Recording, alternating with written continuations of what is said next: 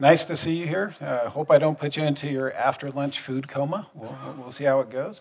Uh, here's a little brain teaser to keep you occupied during the talk. So if you've seen it, it probably won't keep you happy for very long. Uh, I don't think it will be on the Hackers Challenge leaderboard, so it's not going to help you there. Um, but think about that. The answer will be at the end if you're still here. Uh, okay, so our, our, agenda is pretty simple. We're going to set the stage talking about AppSec and why it's important and why companies need to really be thinking about application security now, especially if they're developing products. It's very important to them. So well, covers a lot of material, so I apologize for this. This is a um, uh, PowerPoint slide bomb. I've learned earlier today that I need a lot more happy kitties or other things like that, but I did try to put in a couple of uh, cartoons in it to keep you entertained and pull you along on the journey. Uh, we'll look at what makes an app, uh, AppSec program, uh, and then specifically look at three things, which is security champions, threat modeling, and SBOMs. And then there's uh, some appendix material that we're not going to look at. But this is the first time that AppSec has featured prominently at SaintCon. Um, there are, last year I submitted this talk and it wasn't accepted. This year it was, and there's three other talks that you can go to if you're interested in application security. Uh, first one is uh, Kenton McDaniel is talking uh, tomorrow about application security maturity models. Hope that doesn't overlap too much with what I said. Uh, and then coding secure without becoming a hacker is also on Thursday. And then on Friday, there's a plunge, putting the sec back into DevSecOps. So uh, check them out. And there's an AppSec community village down there if you want to try your chops at AppSec.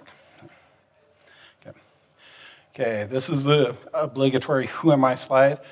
Uh, and this is where I say everything I say here is my own opinion, does not necessarily reflect the opinions of my employer or my boss who is in the crowd, so hopefully I don't get fired by the end of the day. So, um, I am a longtime software developer. I spent a, uh, years, an entire career being a software engineer before I switched over to security. Um, I got my first job as a software engineer before I got my first degree. And then I slightly overcompensated. I went and got a PhD. So, um, uh, big, long, interesting journey. Everybody takes a different path to security. So, you have a different background, and that diverse background is very important to have. Um, I currently work for Arctic Wolf, which has a booth down in the front lobby. If you do, uh, do some uh, I think if you post something on LinkedIn, you can get a special mini badge from them, so go check it out. This is my third time presenting at SaintCon. The other two times have been upstairs doing an introduction to Python class. So, and, but that's enough about me. Now, earlier today, somebody mentioned that executive sponsorship is very important. So that's a given. So this isn't even before we started the setting the stage stuff. We're in the still the front matter. If you don't have executive support, things are not going to work out so well for you. It is very important, and enough said on that. So that's why it says DA at the bottom. You can't get it done if you don't have the buy in from upper management. All right, so we're going to set the stage. Who has, uh, who has developers on staff doing stuff now? And do you have an AppSec program? Okay. Does your AppSec program look something like this? Security guys tell developers about specific vulnerabilities, and then it goes into a black box. They may figure it out. They say it's fixed, then it comes back to you. And then invariably, security finds other flaws, and the security guys complain when a breach happens. Does that sound like security at your place? Nobody? No? Okay.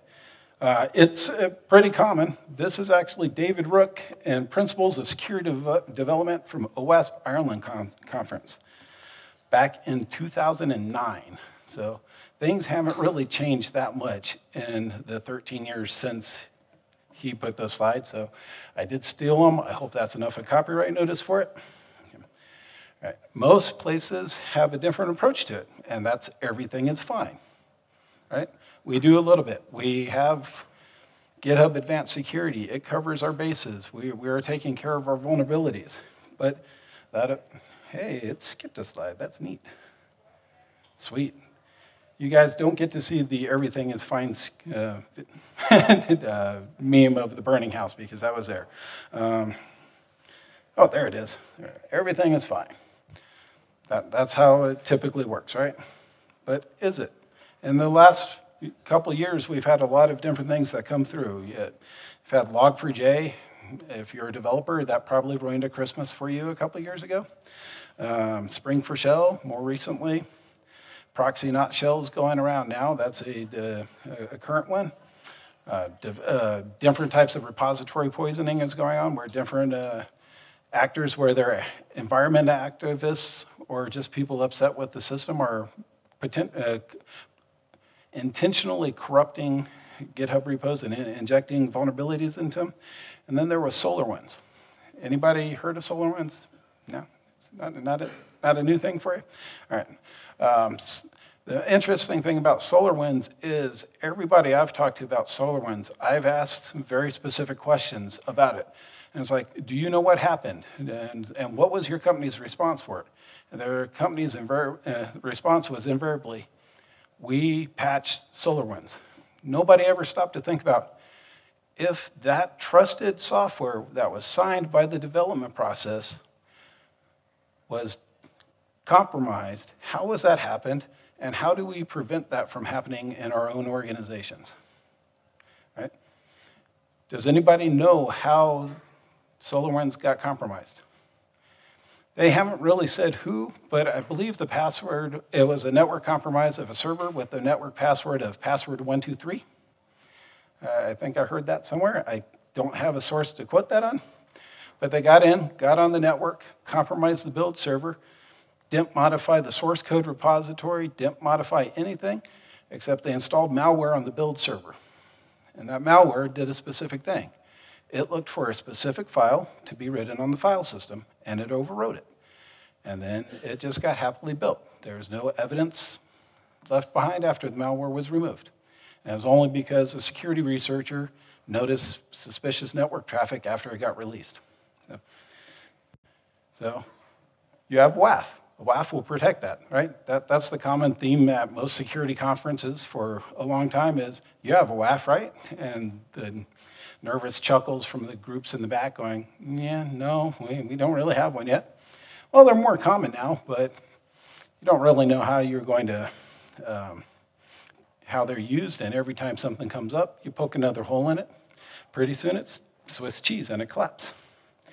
So oversight is coming. You can see this coming from compliance frameworks, governments, uh, and the most important one is uh, Executive Order uh, 14, uh, 14028, which came out from Biden's administration last year.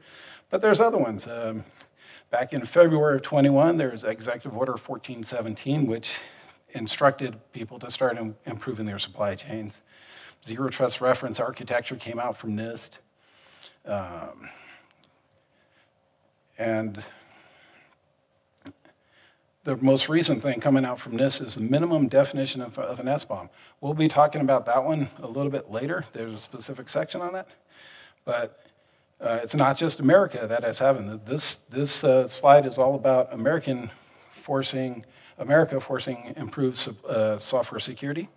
This one is different countries doing the same thing. So Great Britain, Germany, um, the European Union as a whole, and then the, uh, the Trade and Technology Council has been put in place. All of them are working on different things to help make sure that application security is a forerunner in, um, in thoughts and, co and contracts for government organizations. And selling software is what we do. Selling software to governments is always looked after by your uh, uh, sales team. So if you can't support them by having the processes that will be made, you'll be missing that opportunity. And one of your competitors will have that opportunity. You typically come into a lot of different reasons or excuses for why um, software security can't be built in now. And those really come into a lot of different things. It's good enough for now. These risks are not relevant. It's not the number one priority. It's, it's just a pilot project that ends up invariably being in production. We're changing too fast. Your controls will slow us down. We depend on third party solutions. We don't want rigid. We're agile. We, we can't do it. Uh, other challenges is there's so many frameworks out there. there's the NIST CSF, there's ISO 27001, there's CIS uh, controls, which is the top 20. Anybody familiar with this? Well, it's 18 now when they revised it. Anybody familiar with the CIS controls? There's one section in there that's about that long about application security, and you're supposed to cover everything in it. So, um, and the other option is there's lack of developer team buy-in. You have uh, a team that is responsible for delivering features, and you have another team that telling them that they need to slow down, that they need to be careful, that they need to think and engineer the solutions that they have. That, that's a different rant I have of whether or not your organization calls somebody a developer or a programmer or an engineer. Those all have three distinct meanings to me. So we want to have software engineers, and engineering is a process that is rigid and followed. It can be fast, but you have to have a process, and it to, has to be repeatable. And most of the features that the development teams are already working on, well, they're, they're probably behind schedule because they're optimistic when they make the big guesses about how long something will take, and when they start to break it down, they realize it's a lot more complex. So you have times. Now, some days, if you're doing AppSec, it's going to feel like this. But here's my question for you. Who do, I who do you think I see as the application security team? Agent Smith because that's what engineering thinks that they're Neo. So you have to fill the role of Agent Smith. So, okay, keep that in mind. It's a matter of perspective. Security team members are going to think, yes, I'm doing the right thing, but you are seen as an impediment to Neo accomplishing his mission. Now, there, I can go ad, ad nauseum about different reasons why this is needed. So there's headlines all the time that, that you can see. Um, uh, most of these repeat the things we've already talked about, but um, mobile Trojans being distributed by mods, app developers increasingly targeted by Slack and DevOps tools. So the, the attackers have learned that there is a nice soft underbelly out of the hard shell that most IT security systems put in place. And if you get in, you can have practically free range. Because if you think about it, when, when your network security team is prioritizing what work they are going to do, do they prioritize a server or a developer's laptop? They, they prioritize the server, right? Because that's what makes the money. But if they compromise a developer's laptop and that laptop has SSH keys into AWS or whatever other system that they have, that's a low criticality system that might not have as much rigid controls on it as you might need to have. Some more. My popular one is popular IoT cameras need patching to fend off catastrophic attacks. That's uh, like right up there with the killer light bulbs that you, have heard about recently in the news. So, um, so, if we take a look at the top 20 um, actively exploited items that exist in 2021, you can see that about 25% of them are related to application security. There's the Log4j, that one's going to be up there for years. Um, uh, somebody stated that it would take decades for that to be truly remediated, but I can't think of another company that has, has not come out and said, oh, we're not affected by it, we patched it, we're good there is way too much Java code out there for that to be true because we have software that has had defects for decades that is still not being taken care of. Um, then there's the other question, if on day one, uh, somebody says they're not affected for, for Log4j, it says, yeah, yeah, great, they're not using for Log4j. But what about SolarWinds? You know, oh, we're not affected by it. Does that mean they don't have SolarWinds? Or they have SolarWinds and it was running an even older version of it. So they're not even, they don't even have a good patch management strategy in place. So, um, so uh, Log4j, GitHub vulnerabilities, Atlassian vulnerabilities, a couple of them were Atlassian. Sitecore, which is a, a marketing website management system, and uh, the Apache HTTP server all have had critical attacks that have known exploits, that are really easy to script, so script kiddies can do it too. Here. Um, so I, I, think we've clearly demonstrated the need for application security in an organization, but let's think about how it gets rolled out. There's basically four phrases, phases that this happens in. Uh, a reactive, a baseline, an expanded, and an advanced one. The reactive one is what really happens when you first decide, hey, we're going to have an AppSec team. And that's you start hearing about vulnerabilities and you take them to the security team. Baseline is, okay, we're starting to get a little bit of handle of this. Maybe we'll roll out some tools. We'll start defining our processes. We'll work on it. But everything is building up to ha having an advanced area. And uh, advanced capabilities in it, where you're proactively seeking and searching for them. And that is through whatever means you have, whether it's pen testing, uh, unit tests, misuse, abuse cases, internal testing, QA, writing requirements up front. And that's your ultimate goal. But what is the AppSec team's role in application security? I've already hit on it. It's not what you think. It's not about you, it's about them. Your role is to build trust. Simply put, just build trust with the development teams. And you need to make it so that it looks like a unifying effort. So here you see a fire support team where there is person in the trench with the developer providing active support for them. Okay? Right? If you look at the DevSecOps model, you can see that it's pretty easy. It says Dev, QA, Ops, and in the middle it's DevOps. It's been a trend lately to calling that DevSecOps, so that, that's a good nod. That security is becoming important. But uh, the DevOps aficionados will say it's always been there. It's always been in the manifesto. There's a little teeny font that says security in it. So it's a team sport. You're part of the team. You need to integrate into this DevSecOps model because that's how software is done. You're not going to be able to change that. You need to work in that model. So it's like a team sport. And a team sport I did not know much about was rugby, right? I did not know they had so many positions, and I don't know why I can't see my notes. But so we're going to be winging this because I still don't know all these positions. Um, but there are different, different positions that they have. They are highly specified, uh, specialized. And that's the main point of the slide is you have props, hookers, locks, flankers, the number eight man, who is like the center in soccer. You have quarterbacks, who is their star from American football, wingers, centers, and fullbacks. Each of them have a specific role, and that role is very specific to what they do.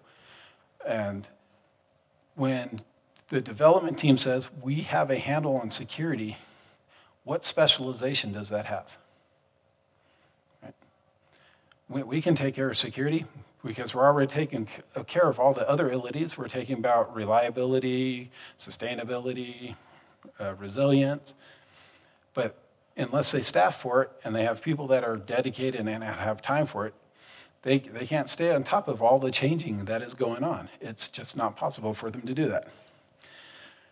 And if you look at the structure of most development teams. Here's a sample of some that I um, pulled off of the internet while I was preparing for this. This is your standard application security, uh, or your standard development team. Where is security in this model? Here's another one. Where is security in this model? A third, no security. A fourth, no security. A fifth, no security. And a sixth, no security. So development teams aren't staffing for this. So they can't take it on. They don't know how to do it. So, so as we already said, development, developers already have a lot to remember. It's impossible for them to keep track of this. Would you rather have a cardiac surgeon operate on your heart or your GP? Um, also, internally, if you're making decisions about yourself, your opinion is going to be biased. You're going to think you're doing better. This happens even on security teams. Security teams might think that, oh, our processes are good enough, we're catching it, we have a good enough development. I'm sure SolarWinds thought that. but they had the Pearl Harbor of attacks. So the, the, somebody was thinking out of the box and figured out a way to get past them. All right. And then if you look at your DevOps models, who has DevOps teams that actually have minimized rights? Or do all developers, because they're all DevOps, all have rights? So even though you have a DevOps model, your, your authentication method really looks like this. Your authorization roles is an overlapping, developers can do everything everywhere, which means that it's really critical for them to have it, have lockdown computers and have plans for addressing that in a need to know, limited rights type manner.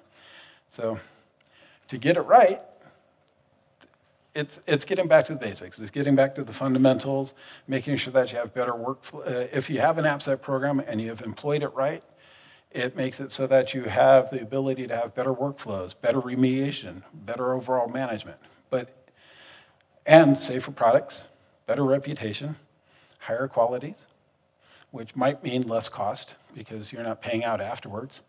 Uh, seamless collaboration among teams.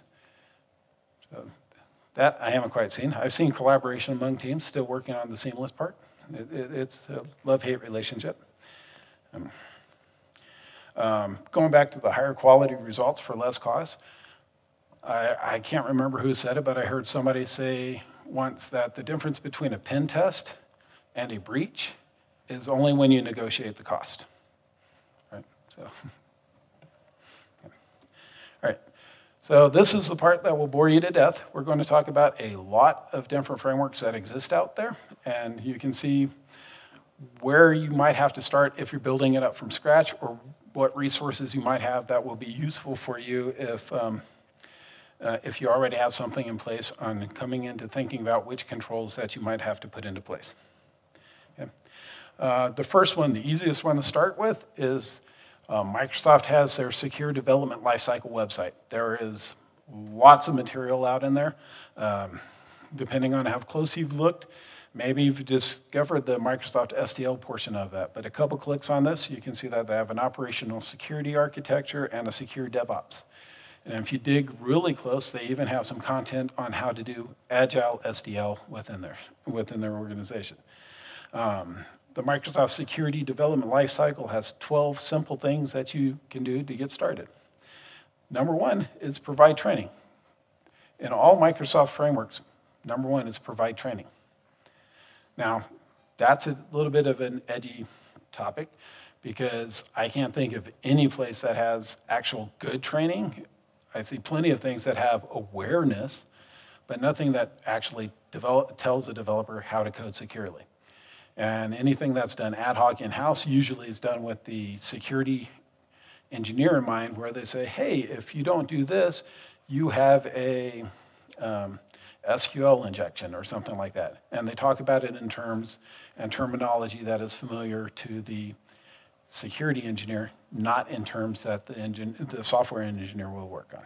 So, um, defining security, we're not going to go through all of them. We're just going, so bear with me. Well, we're just going to go through this one pretty quick.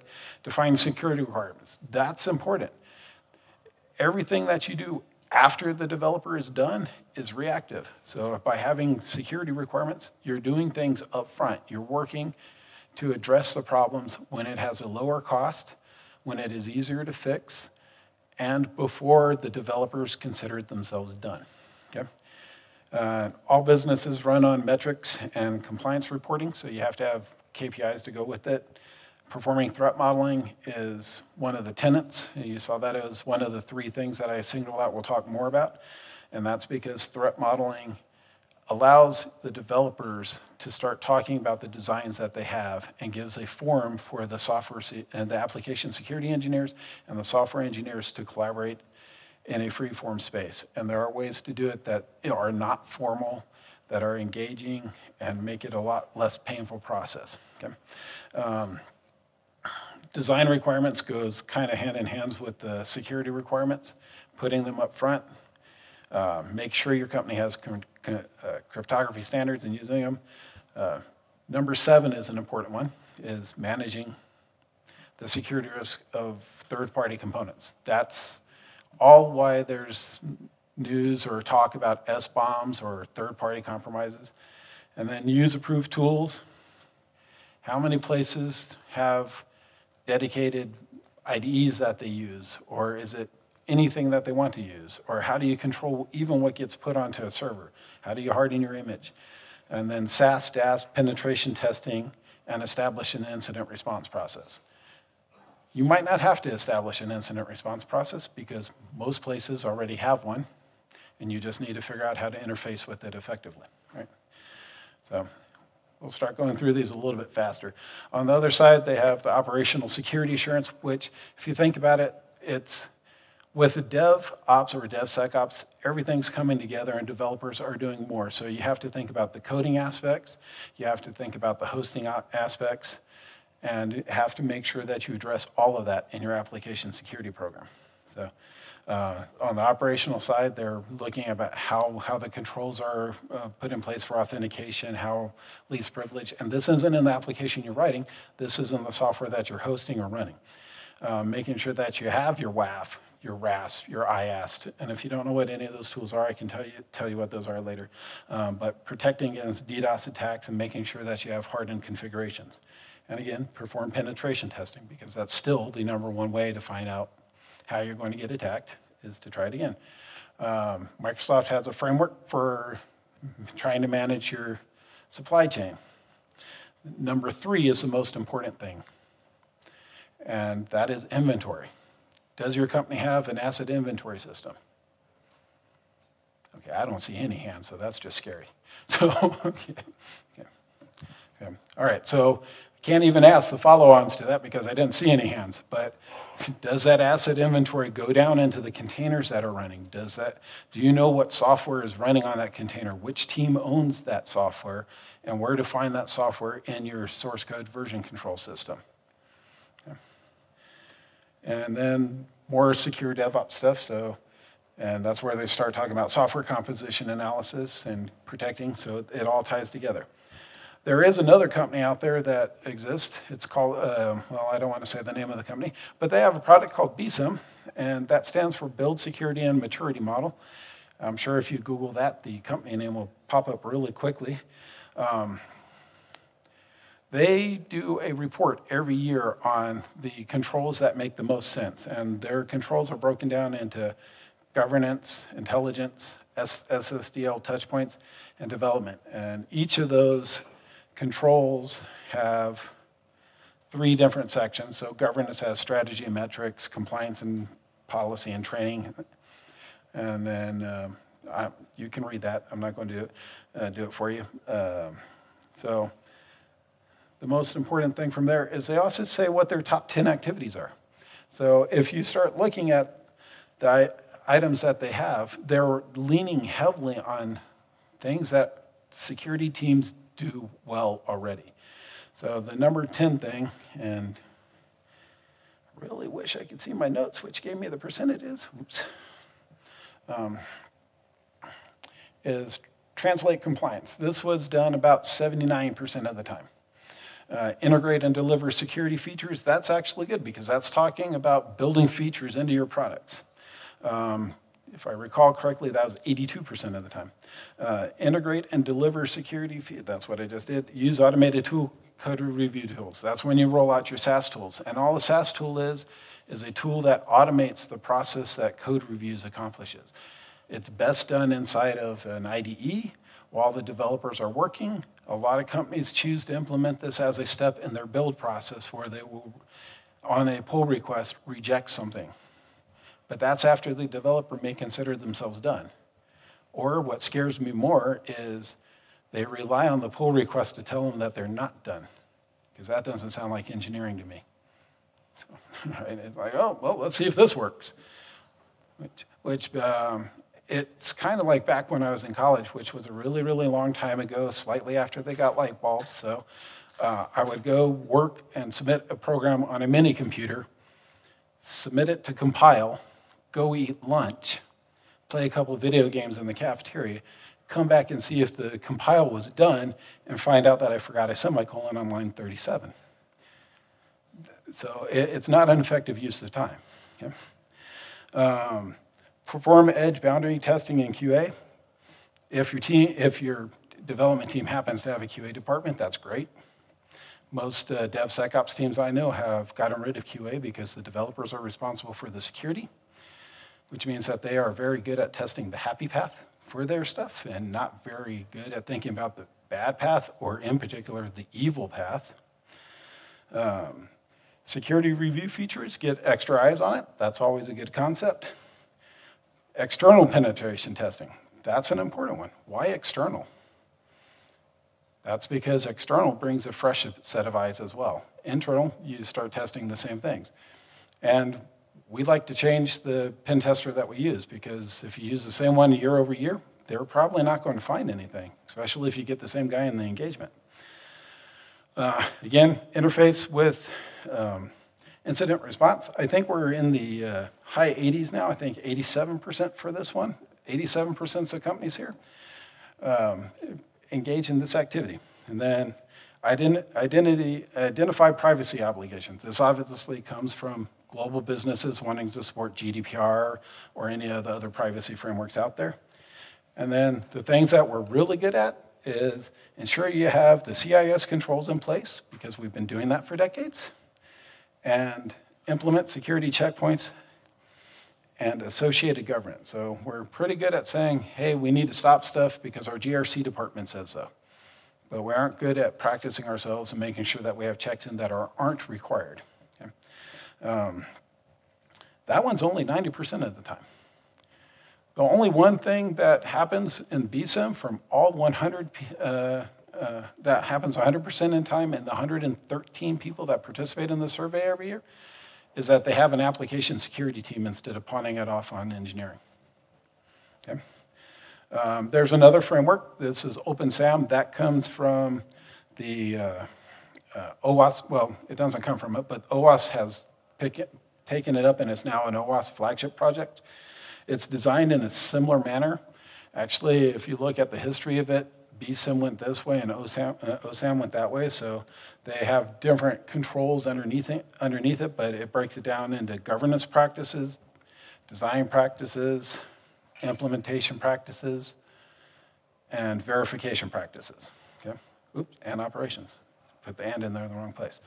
Um, more recently, there's SP 800-218. Now, anybody that's gone after FedRAMP is probably familiar with SP 800-53, because that's the big 400-page document with uh, all the wonderful controls that you have to have. But this is what came out in response to Biden's executive. Well, it existed before, but it can be used to address the, the, um, the controls. Uh, if you're pursuing FedRAMP, again, have to understand that. You have to start considering StateRAMP. Uh, or uh, well, I think it's going away, but there's Texas ramp too, or TX-RAMP. So that's going to fall back down into StateRAMP. So that's the logos for all of them. You can be uh, uh, ready, provisional, or what's that last one? Authorized under that one. Um, so under NIST, and that really does not work good on the screen. I apologize for that. Um, it's prepare the organization, protect the, uh, the software, produce well-secured software, and respond to vulnerabilities. So it's, it's nice, easy practice. These are all easy to Google, but uh, similar type controls that you've seen from the other ones, so we won't spend too much time on them. Um, and then if you happen to take credit cards, there's PCI DSS, which has some controls that are very similar to it, like build and maintain a secure network, protect account data, build and maintain a vulnerability program.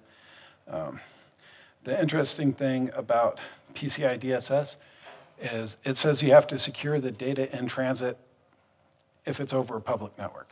So if it's on a private network, they don't care. I, I think that's wrong. Um, PCI also, oh, sorry about that, also has a secure software uh, framework that it makes it easier for you to start implementing the things that are covered under the PCI DSS spec. They go hand in hand, they map back and forth between the two.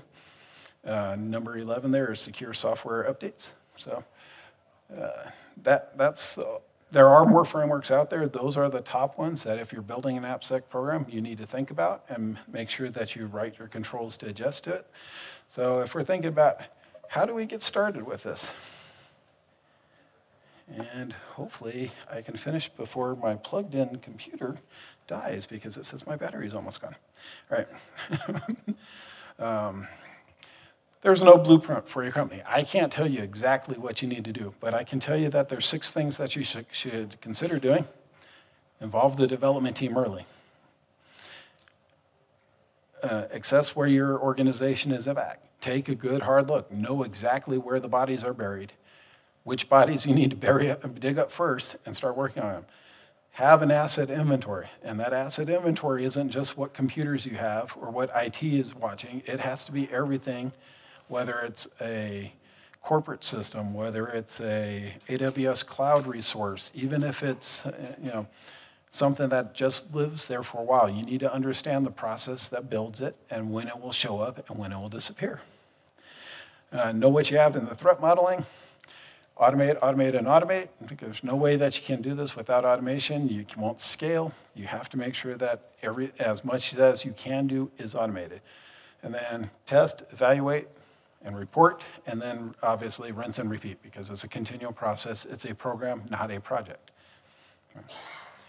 Places that go in and look at something as a project for AppSec will never really do a good thing because you'll get a little bit of time once a sprint, once a quarter, once a year, or something like that, instead of changing the culture that you need to have. You have to have a security culture, like they were saying in the keynotes earlier today. Okay. And one of the best ways to involve the development team early is to have a security champion. This is a concept that comes out of BSIMM, and that's a really long um, uh, bit of verbiage for anybody who gets the uh, slides later to remember what I was talking about at this time. Um, but the important thing is the security champions are resources on the engineering team. They are the developers. They have stepped up and said, I will own security for my team. Okay? The, the benefits for them is it looks good on their resume. Depending on how you roll it out, they can get incentives or, you know, um, one of the companies I worked for before, if you were a security champion and you had enough active involvement in it, they would send that champion to Black Hat. Of course, not all champions are motivated by that, so you have to think about your target audience and what motivates them. Some of them might be fine with just money. So, um, right. so the champion's role is specifically to give the security team, somebody on the engineering team that's directly responsible for it, a uh, bidirectional pipe for communication. The, the champion can come to the engineer saying, hey, this is what we're working on. We need to think about how to do it securely and get advice from him. And then the security champion can receive from application security the, anything that's coming down the pipe that might affect them. Like, hey, we heard from marketing that we're going after FedRAMP that type of surprise might put a damper in the software engineer's day when they realize that they have to meet all these controls, make sure that they're able to host in a different area, and review all of the components that make up their system and make sure that they are FedRAMP authorized. Um, it's the only way to allow uh, security efforts to scale, right? Uh, application security engineers are, one, hard to find, two, expensive, and three, um, I don't know the best way to put this. they just say that they're, they're overworked just like everybody else in the organization. So um, you have to have a ratio, a, a small team of application security engineers cannot work with 600 developers effectively. If you have five, uh, five application security engineers trying to talk to 600 developers, that's going to make application security a bottleneck for them. But if you have a different model and it's you have one application security engineer for 10 champions per 100 developers, now you have a very, a very good way to scale, right? It, it, it adds a layer of indirection that can help out. Um, it also puts somebody on the development team that helps spread that culture within the, uh, within the development and team because if he's taking it to them, they respect him. They might not respect you unless you happen to be like me and poach people from the engineering team for your application security team. Um, and if marketed correctly, it can be a competitive differentiator. Okay, ISO 27001 is not hard to get. You have to be right 70% of the time to get that certification. Lots of companies have an ISO 27001. Lots of companies that have been breached have an ISO 27001. Right? But if you can demonstrate and market that you have a secure product, especially if you have something like a bug bounty program to work on it. Okay? Um, so how do you start a champion program? You need to decide what you want to accomplish. You need to decide who is going to participate. Now, earlier I said that it's very important that this is a volunteer effort, right? Sometimes this becomes voluntold, but you really want it to be a volunteer effort because that way you find somebody that's passionate about it, who's interested in it already. You need to clearly define what is expected of them. And again, going back to the training, how, how will you prepare them for the task?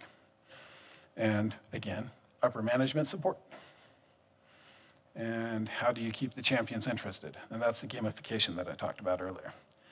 Um, so then threat modeling. Threat modeling is usually the second thing I do. The first thing is adding a software security champion uh, program so that you have somebody to do the threat modelings with. Now, application security engineers can do a threat model on their own but that's not the most effective way to do it. The best way is to get in a room with your application security engineer, your security champion, and hopefully the entire development team if you can take, a, take the time.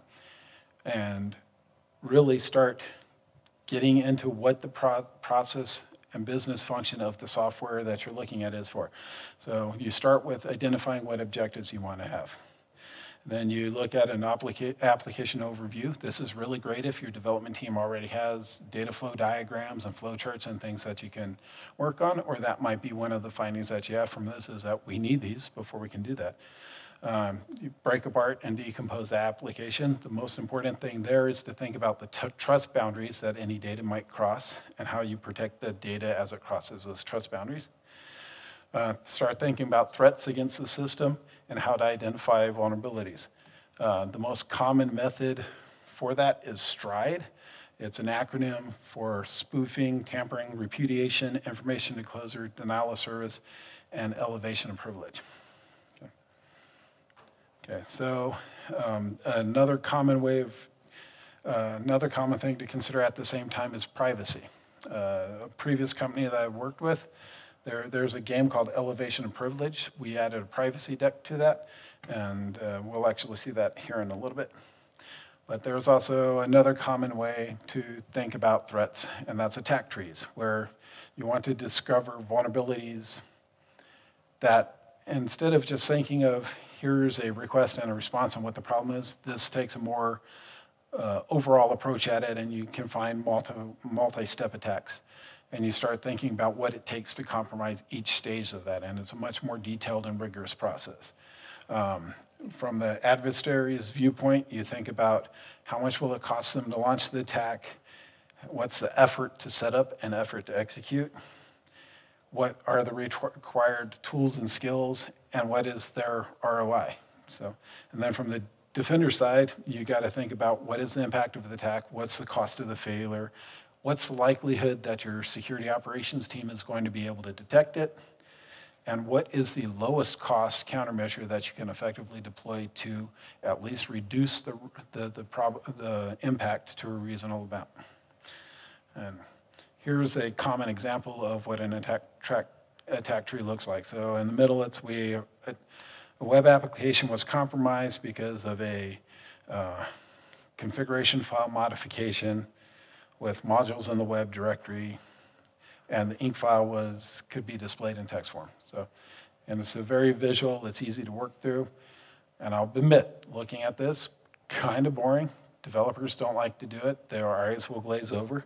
So back to that gamification that we're talking about. Uh, Microsoft has the Elevation of Privilege card game. It goes against the STRIDE. Um, there's a OWASP Cornucopia, which has a different set of controls that you need to work with. And then uh, the one I found while I was researching for this, and I need to take a closer look at it, is the um, uh, attack patterns one in the middle. Okay. Now, let, let's go back and take a look at SBOMs. Okay. Um, anybody XKCD fans here? You might recognize that cartoon. Okay, at least a couple people have seen this. I've doctored the cartoon a little bit. It's really hard to see, but one of them, one of the modules now says jQuery, another one says uh, uh, log4j, and and then another one says Spring4Shell. In addition to that one component that somebody in Nebraska has been supporting since 2003. well, unfortunately, Log4j has hundreds and hundreds of developers. But it's a good example. A couple weeks ago, there was um, a 2007 Python um, vulnerability, in quotes. We'll call it, put it in quotes, because the, back in 2007, the developers did not consider, deem it to be a vulnerability, so they did not patch it. So in 2022, it became very popular to exploit through this, uh, through this vulnerability, again in quotes, because it was published back in 2007. Nobody's defended against it. And that was in the uh, part of the Python main library for handling and unzipping files. So it's, uh, it, it's possible to have a overwrite files in your file system by crafting a malicious tar file and having it unzipped on the server because it does it it just the writers of the package says our job is to unzip tar files so we don't care what the tar file says. If it says it goes out of this parent directory we write it out of this parent directory right? So are they right? Yeah probably. Their job is to unzip tar files. Somebody else has to actually make sure that that makes business sense for them to do. But if you think about the tools that exist, whether it's SAST or DAST, none of them detected it. Um, and it's an interesting question. SAST tools started to detect it now, but if your SCA tool isn't detecting it, you have no idea if the open source libraries you're using, which may also uncompress a tar file, um, would, would have the same vulnerability because they consider that a coding problem, something that the SAST tool would catch. So it's a good example of where you have to be have comp uh, comprehensive knowledge about what's going on and think about it. Um, for Log4j, I know that we had um, many vendors came out with tools to detect it. Not all of those tools were created equal. So I had a vendor give me a tool that said, this will detect Log4j on your network. I asked them about it, and it was, Okay, well, what it does is it looks in your system process table for the strings that the attack has. But the system process table will be executing whatever malicious payload the log4j attack had. So it's way, way down the stream, and those attack indicators wouldn't be there anymore. So, um, so back to the uh, SBOM we've already said many, many times it's important to have an understanding of what you have and what compromises your system. This is why open source is becoming important is because there's 73% year over year growth in the use of open source, which means that more and more open source is used, less and less custom code is written. There are 37 million open source components, 2.2 trillion open source package downloads, and 6 million new package versions introduced last year. Um, a third of them have known vulnerabilities. Um, only 6.5% of them are uh, non-popular because the big ones with the most downloads are the ones that get scrutinized and looked and exploited. Um, the 650% increase in supply chain attacks. Oh, and that's up from 430 and 220. So it's an exponential curve that you're having there. Um, my favorite one is the next one. Developers make suboptimal choices 69% of the time regarding upgrading third-party components. So that's because of the enormous volume of open source dependencies that are present the incredible rate of time that goes on between them. If you're using GitHub Advanced Security, it will tell you that there's a new version available. It won't tell you what's the best one to solve the vulnerabilities that exist in that. right? Um, It has two different versions, but other tools, if you look at them, they have the capability of telling you, hey, not only do you, are you using this component, the one that's most likely, least likely to bork your entire software stack is this version. Or it can also, uh, they start tracking metrics like um, uh, how many commits were done in the last year, how many developers made those commits, so that you can start looking for the ones that are actively maintained instead of using the one maintained by that one guy in Nebraska. Um, NIST came out with the Securing the Software Supply Chain Recommended Best Practices for Developers, and really all that is is mapping between this document, the executive order, and the NIST SSDF framework. But the majority of it focuses in that top left corner, which again has asset inventory and uh, vulnerability uh, repository. So you need to get the handle on that. Um, when you're thinking, uh-oh, now we're having trouble.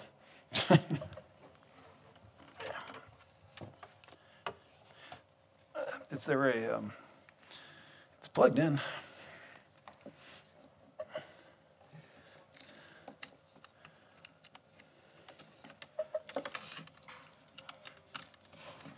Let's see, did that save it?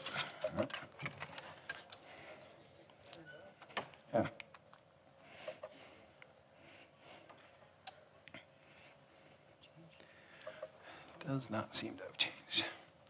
All right, well, good news is we're almost done, but I don't know if you'll be able to see it. All right. So um, obviously don't use alpha, beta. We'll try to get through this before it shuts down. um, don't upgrade to a more vulnerable version. Um, okay, so I had some expected questions. What is the minimum that you need? In my opinion, you need security champions, developer, uh, secure development training, documented understanding of what you're trying to include, and there it goes. So, um, okay, so I know the rest, so we can wing, wing it from here. Um, the other thing is, I mentioned bug bounty once. Uh, why, why is that not a important strategic way to do things? It's great for finding stuff, but bug bounty programs are the, the designs that come from them are from the perspective of the bounty hunters. They look for things that they know how to find. They don't look for things that you need them to look for. So that's why a pen test by qualified people is better than a bug bounty program, especially since pen tests are recognized by most compliance frameworks. Bug bounties are not. Okay. And then uh, there was one more expected question that I'll try to get back to at some point in time, but uh, any unexpected questions? Yes, sir.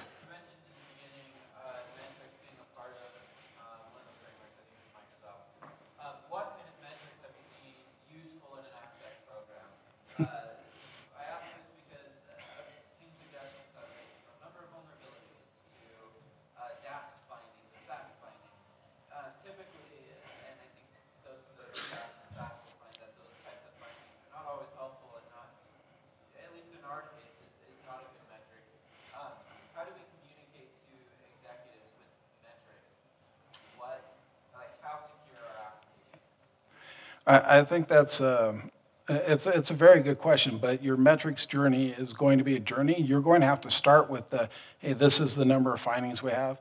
A lot of the times, it's being able to take the number of findings you have and pivot it into something actionable. So instead of saying that I have 5,000 um, issues of this type, you can pivot that and, and, say, I have one issue that says I have SQL injection vulnerabilities in my system, and then design a program to focus on that, and that will help.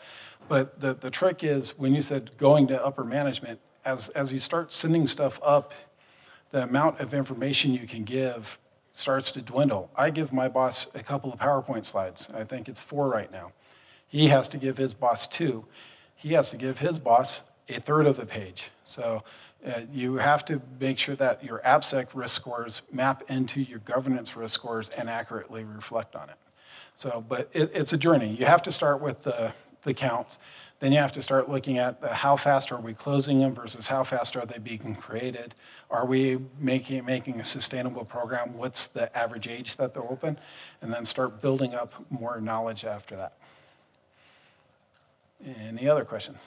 Or did that answer your question?